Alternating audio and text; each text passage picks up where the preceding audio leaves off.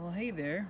Still at the Oregon coast and wanting to share with you a little bit of closer up view of some of the denizens or things that live here. This is a California blue mussel. lives right here in Oregon too. And as you'll see, it has two equal sides that come together with a little muscle, closes them shut. And the belly and the inside and the rest of the body looks orange, but beautiful shades on the inside of blue and green. So that's a mussel. They're good when they're about this size to eat. Stew them with vegetables and tomatoes. This is a sand dollar. It has all kinds of teeny tiny feet when it's alive. This is its exoskeleton, but the little teeny tiny feet, both on the underside, that's its mouth right there, and on top that help it move around in the sand. Mussels cling onto rocks, like I was sharing earlier. This is a cockle, and it has two shells too that come together right here, but we're just seeing one of them.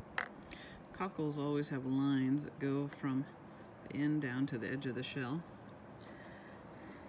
This is a clam, known as a butter clam around these parts. See beautiful coloration on the inside. Only clams know why they're pretty on the inside and not on the outside, but you'll have to ask them. This is an oyster. Again, they have two shells. Have some interesting things on the inside, sometimes cool colors. Once in a good long while, a pearl. That's a cockle. Sorry, not a cockle, that's a scallop. You can tell it's a scallop even though I have lines similar to the cockles. They're smaller, but the scallops always have these pointy little bits here. They're very tasty. And that is a razor clam.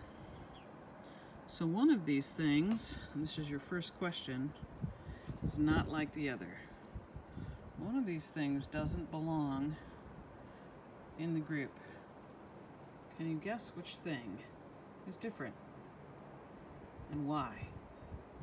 Mussel, sand dollar, cockle, butter clam, oyster, scallop, and razor clam.